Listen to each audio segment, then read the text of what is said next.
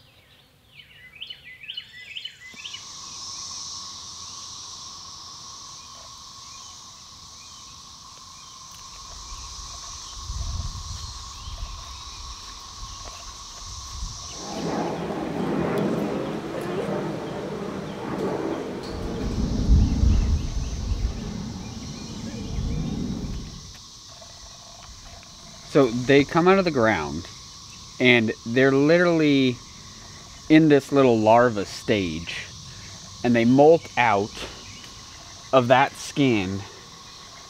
So basically, so this is one about mid midway, right? So that's in the process. They come out like that, a very light skin and then they eventually change to that. And then that is what you hear up in the trees that are making that noise, which here you hear it very like, almost like a cricket, but in the background you hear that humming. That's like all the cicadas. Like all the cicadas in the area are making that noise. And it's only gonna get louder and more annoying. But they are everywhere. We can't let the dogs out. Like the ground is just littered in these skins and we can't let them out. It doesn't matter if I mow, if I blow, if I, whatever I do to clean it up. You can't let them out. I mean, it's not harmful for them to eat them, but obviously consuming dozens and dozens of it says cicadas. it could make their bellies upset. Well, it'll jam up their intestinal, like stomachs and stuff. And those two just want to. So unfortunately, we can't let them out. They got to stay locked on the porch because every time I go to clean it up and clean the fence line, it's just littered with cicadas. No, they're everywhere. Look at you little bastards. You little boogers. Get get out of here. They're it doesn't matter. They're every they're all out here. Look at the pile under this tree.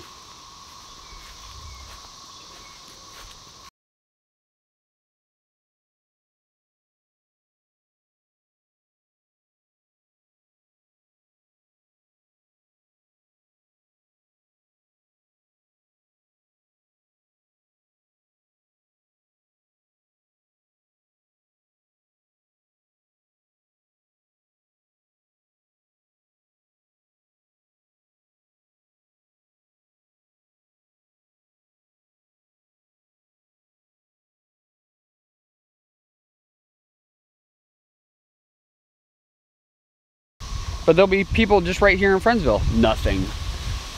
This is insane. They're everywhere. But see, these are all the holes they come out of.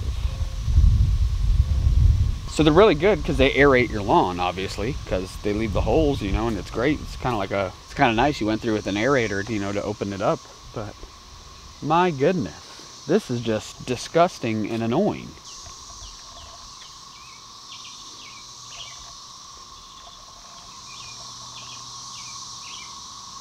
Mean, it's great for you girls, huh? Chicks absolutely love it. They sit here and feast all day long on these things. But we don't have enough chickens to eat all this stuff. That's the problem.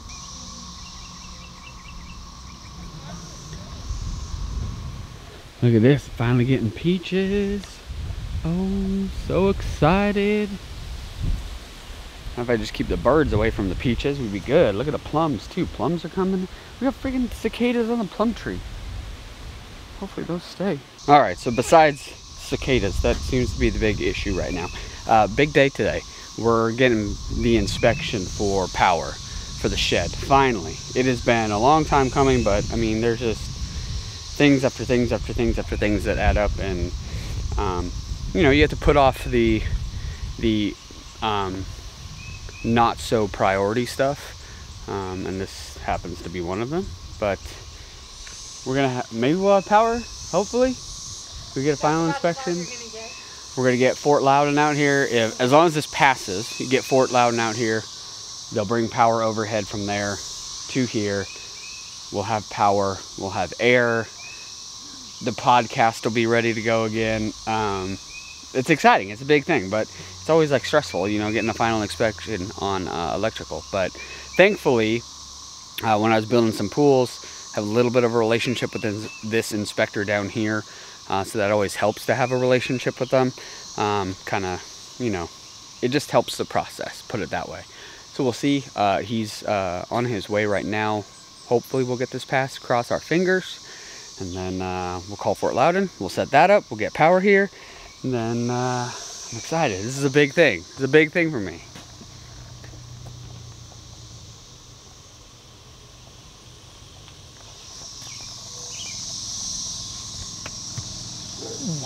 That's what I'm talking about, baby. We getting power. We are getting power. Oh, it's been a minute. All right, so I've been working in the shed. Uh, now that we're past electric, I'm excited. Got a lot of stuff to do, but um, I was just bringing the dogs in and this is so these cicadas are just insane right now so they're just coming out of the woodwork let's see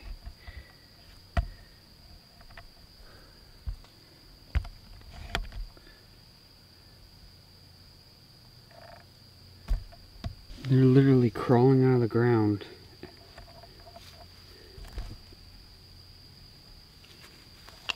they're crawling out of the ground everywhere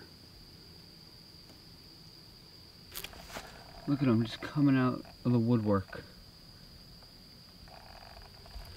I don't know what the sound is out here.